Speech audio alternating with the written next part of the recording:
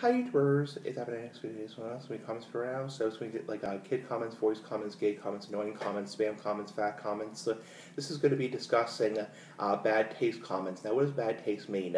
It does not mean you actually leave a literal bad taste in your mouth, like you actually ate something like pizza or cheeseburgers or hot dogs and left a bad taste in your mouth. What it actually means is something bad happened to you, either on the internet or in real life or wherever, and um, it left a bad taste in your mouth. So, for example, uh, you may have had a relationship with somebody, a girl or a guy, and left a bad taste in your mouth, or you declared bankruptcy, for example, in law aspect and left a bad taste in your mouth. So, because your credit score was affected.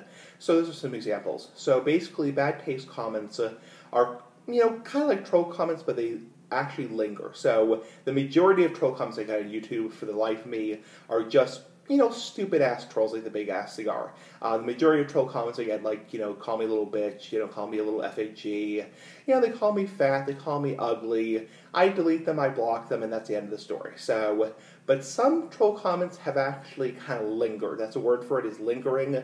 And that's where, you know, they can leave a bad taste in your mouth. You know, people actually saying things like, I should kill myself, which is really bad and actually illegal. So it's like, you know, comments like saying, you know, all people who have disabilities act a certain way. If you are autistic, for example, or if you have mental health issues, you are programmed to act a certain way. That kind of leaves a bad taste in your mouth, you know. Over the last, you know, couple years or so, in my life like 2014, 2015, 2016 myself, I have had some up and down relationships in my life with uh, people, and they have kind of, you know, lingered. Not going to get too into it, not going to say who because their confidentiality and also my confidentiality. But, um, you know, bad taste comments definitely linger more than your average troll comments. You know, when someone calls you a bitch, it's like, you know, you delete the comment, you block them, you laugh, you laugh it off, and then you write it down for laughs. So the majority of the time, you know, the majority of comments I have my, you know, weird comments pages right here you know, don't bother me at all. They're just annoying. They're just stupid, you know.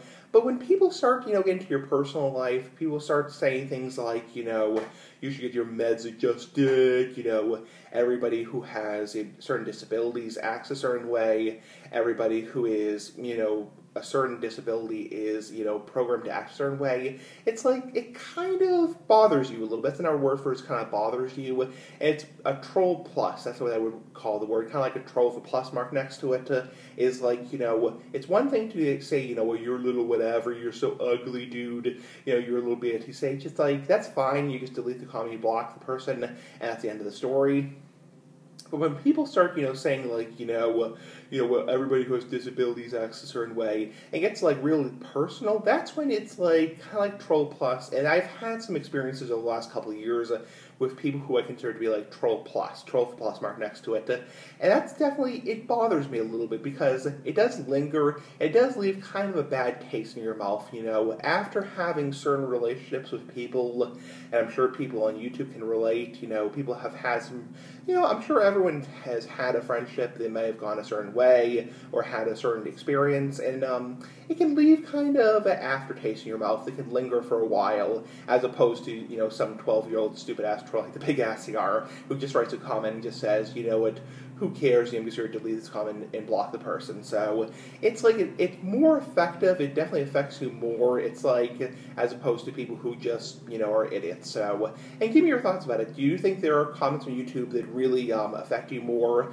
and comments that are not just your typical run of the mill stupid ass like the big ass cigar troll? There are comments on YouTube that really, really um, are kind of like not only really mean, they're comments that kind of bother you. They kind of kind of bother you. So uh, anyway, big guys, that's bye.